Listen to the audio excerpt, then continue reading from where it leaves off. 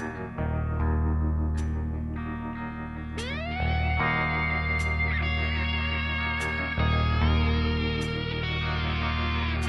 a long and lonesome highway east of Omaha, you can listen to the engine moaning out his one old song. You can think about the woman.